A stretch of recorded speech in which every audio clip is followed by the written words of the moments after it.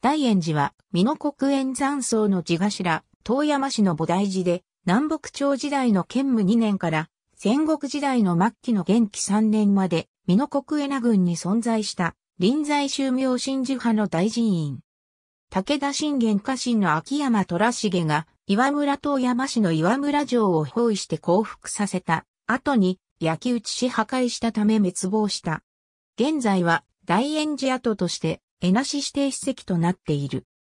明覚三大円寺は、京都大徳寺住かマインの末寺として、建武2年に、美濃国江名郡円山荘の地頭で、岩村城主の遠山三郎が、峰沖名疎一を迎え、円山一族の総力を結集して建立した。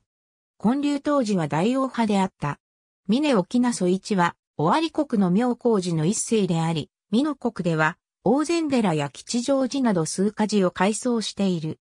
二世は、玉林州で、延文三年に、大円寺に、つく十。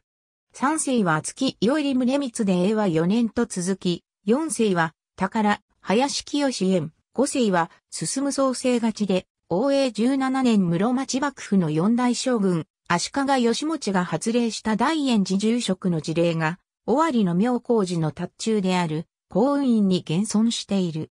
このことは、大円寺は、林下ではなく、室町幕府の保護を受けていた漢字となっていたことを示している。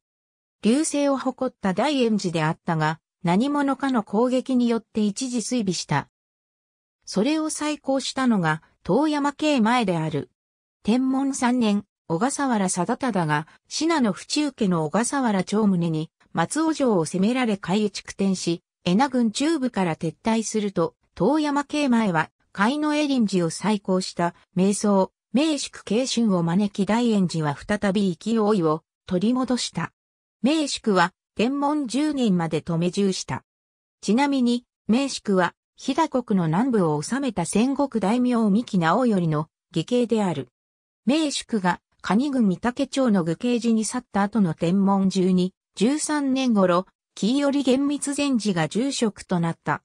キーオリは、海戦正期とともに、臨済に大徳と言われた構想で、京都明神寺で官庁職を5度務めたほか、エリン寺の住職にもなっている。永禄7年の信玄の母、大井の方の13回忌法要は、信玄の願いにより、キーオリにより営まれた。明神寺に戻ったキーオリに、遠山市より、大円寺住職の依頼が再び来た。キーオリはこれを受け入れ再び住職となった。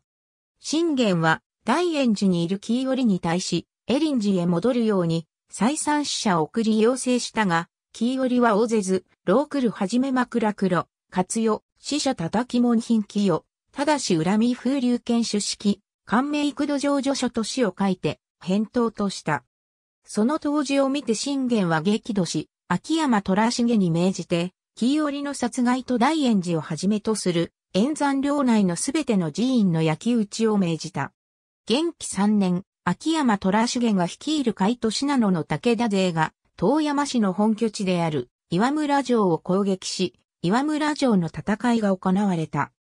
会場から約2週間後の11月26日、大円寺に対しても武田勢が攻撃するとの噂を聞いて、身の危険を感じた清織は、友の者と寺から逃亡した。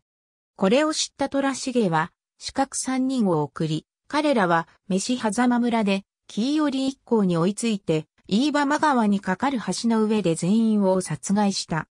ところが、半月も経たないうちに三人は、気が狂ったり、狂った馬から落ちて、命を落とした。それにとどまらずその5ヶ月後、信玄が死亡している。殺害されたキイオリらは村人たちによって付近に、葬られキイオリ塚と呼ばれ現存している。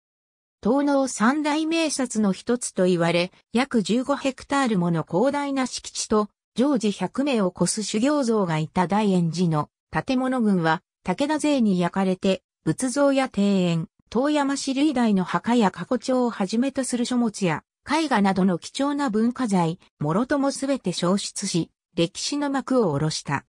同時期に、大円寺のみならず円山領内の寺院はことごとく、武田勢により焼き払われて滅亡した。岐阜県江那市岩村町、富田大円寺。ありがとうございます。